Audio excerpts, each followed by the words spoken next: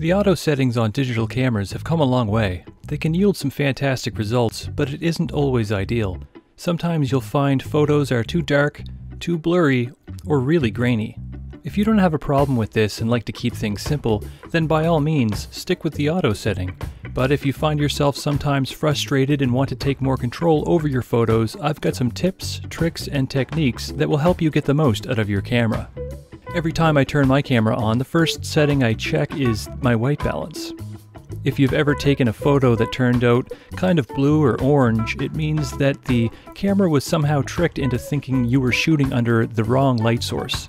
This is a good place for us to start because it's the most simple to remedy. Just look around. If you're outside in the daytime and the sun is shining, select sunny or outdoor.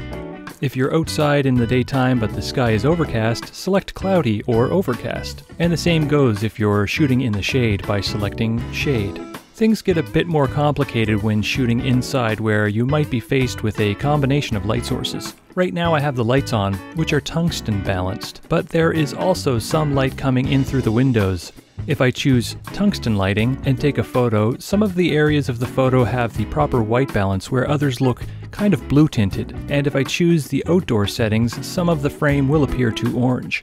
To get around this, try and determine which light source has the most intensity and go with that. If your overhead lighting is brighter, just close the blinds and go with tungsten.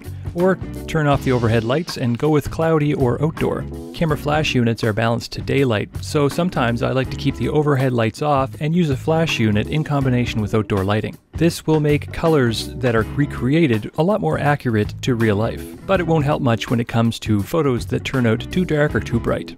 When it comes to getting proper exposure, the first thing you need to pay attention to when shooting in manual is your camera's light meter. It's this little series of dots and numbers on the LCD screen or viewfinder. Those numbers indicate stops of light, and the dots in between them break those stops down into thirds. The trick to getting a properly exposed photo is to adjust your shutter, aperture, and ISO until the little arrow or dot lines up in the middle. It's important to mention that there are a few situations where the light meter might not be completely accurate. For instance, if you're shooting outside during the winter and there is a lot of snow on the ground, your camera might be tricked into thinking that it's properly exposed when in fact it's underexposed. So you may need to adjust some settings to move the light meter into the positive side to ensure you don't lose too much detail in the darker areas of the frame. If you're inside and taking photos by a window that is letting in a lot of light, your camera might think it's properly exposed when in reality the images are turning out very underexposed or too dark. It's always a good idea to position yourself so windows are behind the camera this is a great way to make the best of free natural lighting and avoid having your subject appear as a silhouette. But if this isn't an option for you, you'll have to adjust the settings again to bring the light meter into the plus side to bring out all those lost details. Thankfully, there's only three settings that you need to adjust. Let's start off by taking a look at ISO. This affects how sensitive your camera's imaging sensor is to light. I could go into a lot of really boring detail about native and extended ISO, but the only thing that's really important to know is the higher the ISO number, the brighter your photos will become.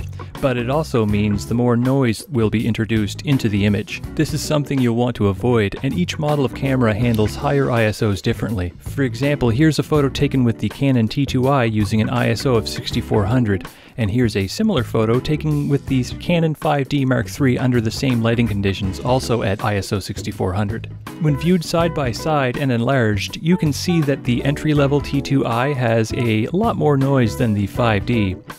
Knowing how far you can push your camera's ISO without introducing a bunch of noise is important, so try pushing yours to see how far it can go.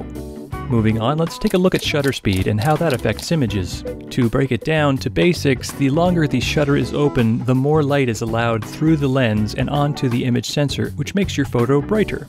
Using a slower shutter speed will introduce motion blur, while increasing the shutter speed high enough will make fast-moving objects appear frozen in time. These can both be very cool effects, but sometimes using a slow shutter speed can ruin your shots. If you find that your photos are turning out blurry when shooting handheld, that means your shutter speed needs to be increased.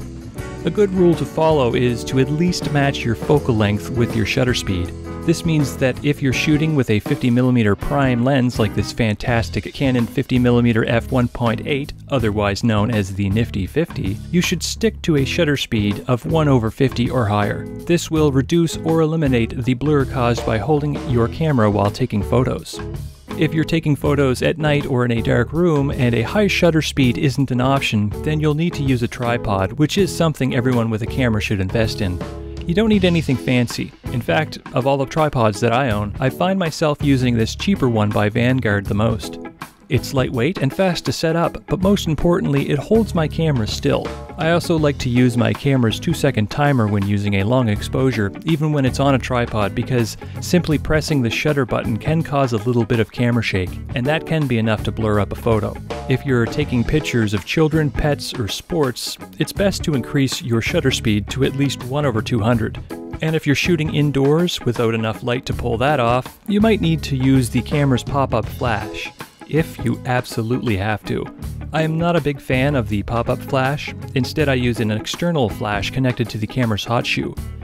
You don't have to spend big bucks on a flash unit either. Here's a shot taken with the Canon Speedlite 600 EX2 RT, and here's the same picture taken with a Neewer TT 560 Speedlite. There isn't much of a difference, if any, except for the price. The Canon will set you back well over $600, and the Neewer is around 60. The Canon does feature a lot of bells and whistles, but if you just plan on using it on top of your camera like this, then it's really hard to justify paying over 10 times as much. That is unless you want to use a shutter speed higher than 1 over 200. You'll need a feature called High Speed Sync for that. Otherwise, you'll see that a portion of the frame will be black. This is due to the way that a shutter curtain operates. For the sake of time, I won't go into any detail on this, but plenty of information is available online. And I might also make a more detailed video covering camera flashes in the future. And finally, I saved my personal favorite setting for last aperture. This will affect the depth of field, which is a fancy way of saying how wide or narrow the area of focus will be. When you adjust the f-stop on your camera, it's actually opening or closing a little window inside the lens to either allow more or less light to pass through. I personally believe this is where you'll see the biggest difference in your photos. Check this out.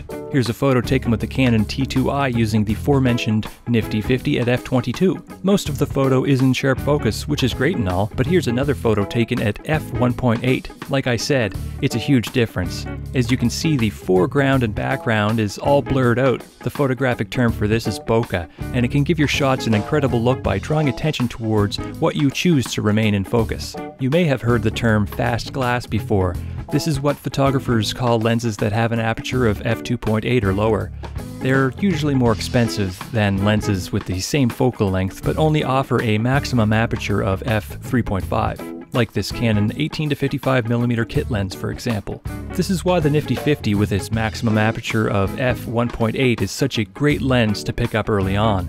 It's limited in focal length and has no image stabilization, but it makes up for it with its speed. You might also be confused when I refer to f1.8 as being the maximum aperture. This is because f-stops are measured by the diameter of their opening. At f1.8, it's opened up as much as possible, and at f22, it's closed as much as possible, making it the Nifty 50's minimum aperture. So, can I tell you what ISO shutter and aperture settings to use to get the perfect exposure every time in any setting? No, Adjusting these three settings to achieve a good exposure while also getting the look you want is a balancing act and sometimes a test of patience, but it all comes in time. You'll most likely find yourself getting frustrated, but don't get discouraged. Nobody started out taking perfectly exposed photos in manual mode. Like many people, I believe that photography should create an emotional response, either by the people looking at the final product or in the photographer while they're looking through their camera. Those emotions won't always be pleasant, especially at first, but if you approach it as a challenge, you will eventually feel a sense of accomplishment, because it won't be your camera calling the shots. Those photos truly will be your creations. So why not give the manual mode a shot? and I hope you tune in again next time for some more tips, tricks, and techniques to help you get the most out of your camera.